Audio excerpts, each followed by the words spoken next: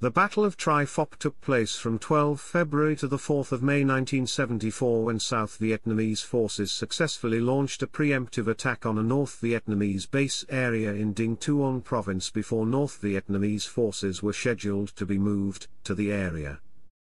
Chapter 1 Background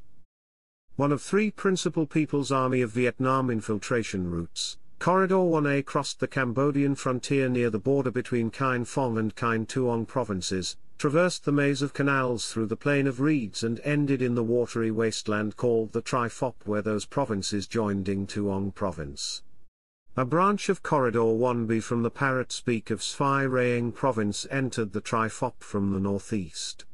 A Viet Minh base established during the First Indochina War, the Tri Phap was partly covered with brush, with little land suitable for cultivation, essentially a swamp that over the years had been laced with permanent fortifications and hidden storage areas.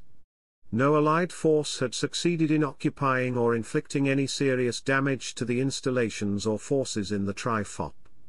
Immediately after the 28th of January 1973 ceasefire, South Vietnamese units in Dinh Tuong were preoccupied with maintaining security in the central and northern reaches of the province and could not divert the forces necessary to clean out the Tri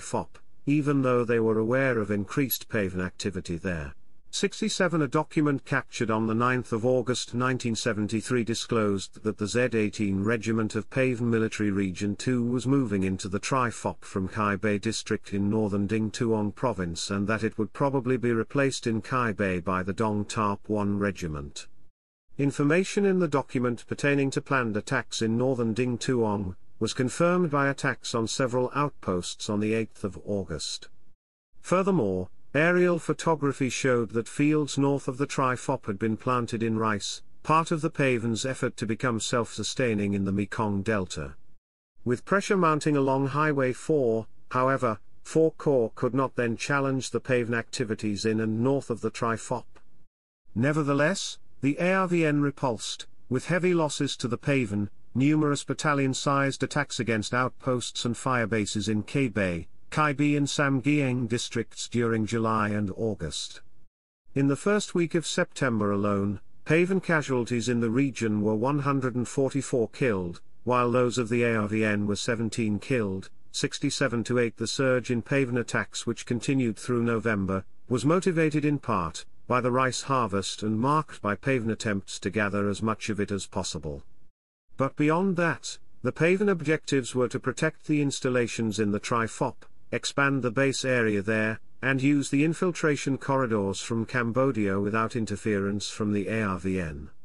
Success in these ventures would force contractions of the ARVN defenses along Highway 4, demoralize the soldiers of the ARVN 7th Division charged with the responsibility and support the propaganda campaign among ARVN troops, 68 as the year wore on, ARVN units slowly wore down the four main force regiments in PAVN Military Region 2, the Z-18th, Z-15th, E-24th and DT-1.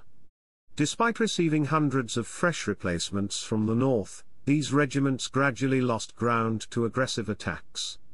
The PAVN 207th Regiment, which had suffered so badly in its disastrous Hong Ngu campaign, was required to provide soldiers to replace losses in the E24th Regiment. These demoralized soldiers were intercepted en route to the Tri Phap area in September, their casualties were heavy and 14 were captured. The PAVN 6th Division was disbanded in late 1973 and its depleted regiments were assigned to PAVN Military Region 2. The South Vietnamese Joint Operations Center provided data on casualties in December 1973 that showed nearly 40% of all PAVN killed during the last half of 1973 died in the Delta. Although the figures were estimations the ratio was probably very close to reality, supported as it was by weapons.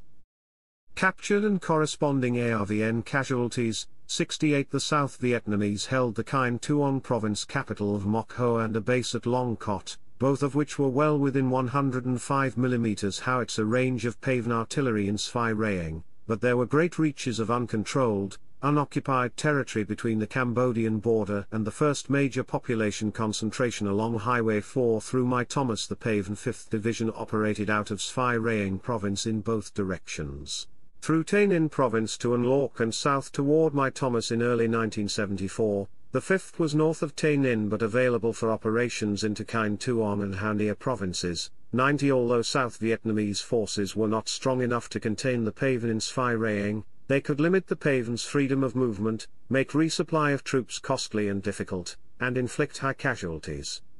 To do this much, the ARVN had to hold Moc Hoa and Long Cot, seize the PAVN's logistical and operational base around Tri Phap and protect Highway 4 between Cai Lay District and My Thomas in January 1974 intelligence became available to 4 Corps Commander Major General Nguyen Vinh Nghi, that elements of the PAVN 5th Division were being ordered to Dinh Tuong province from Tay Ninh.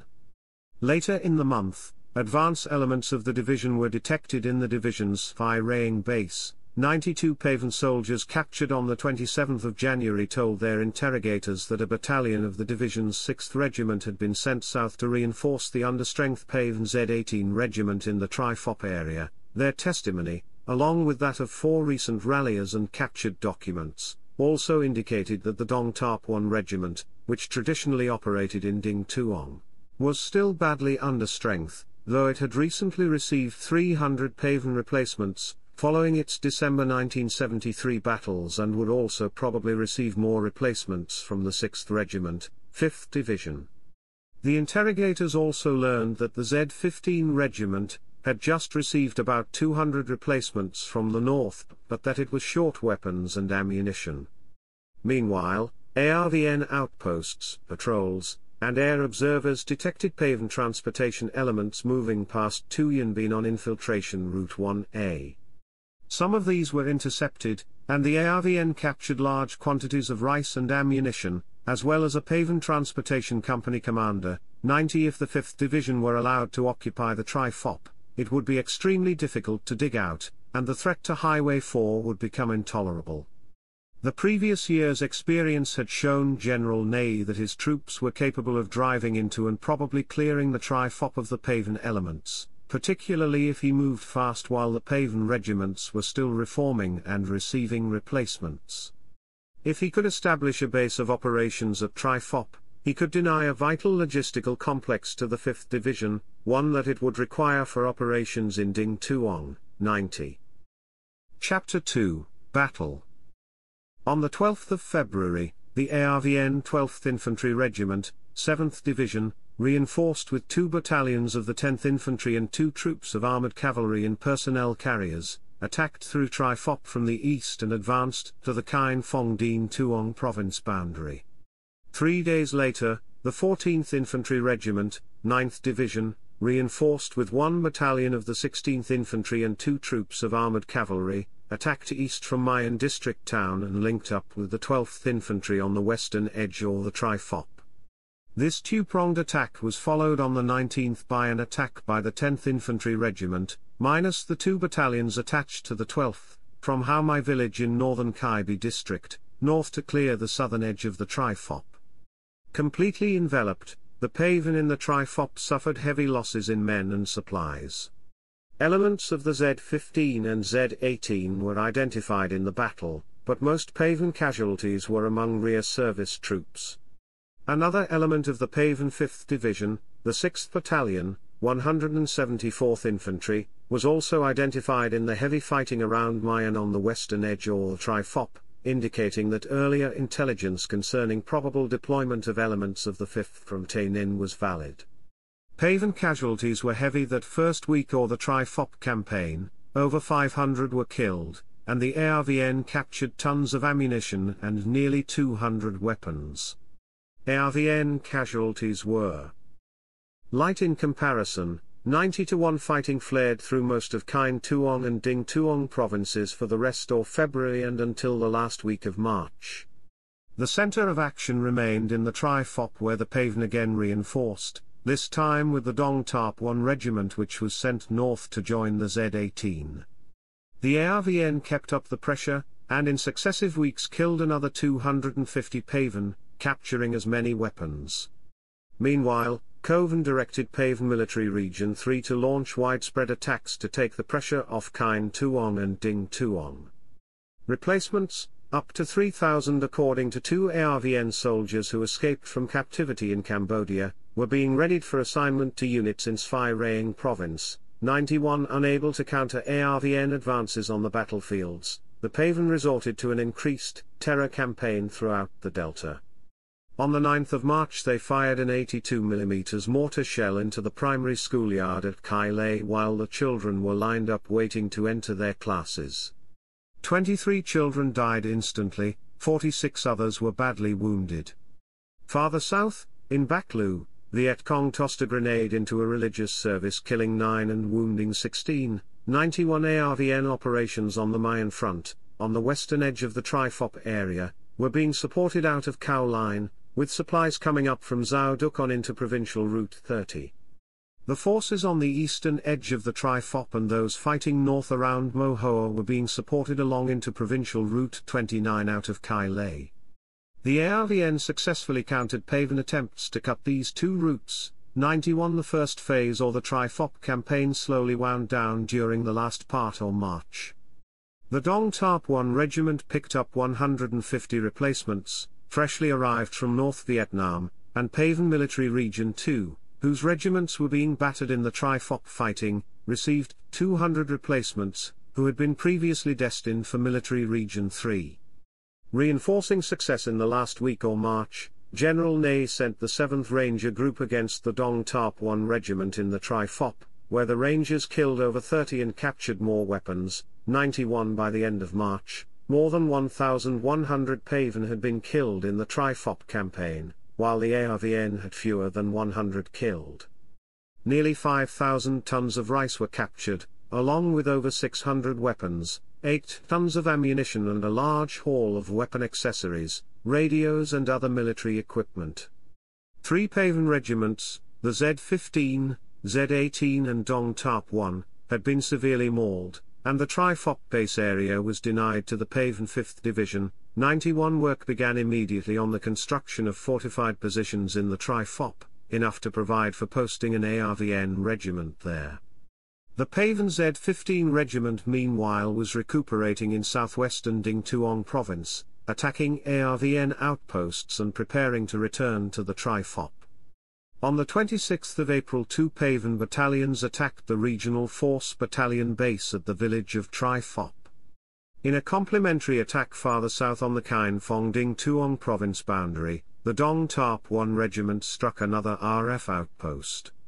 Although temporarily successful, the PAVN soon faced the ARVN's 14th Regiment, and a troop of the 2nd Armoured Cavalry, and was routed with heavy casualties. Meanwhile, the 11th Infantry counterattacked in the Tri-Phap and restored the lost position. The ARVN, by the first week in May, was therefore in firm control in the Tri-Phap, with four RF battalions holding strong positions there.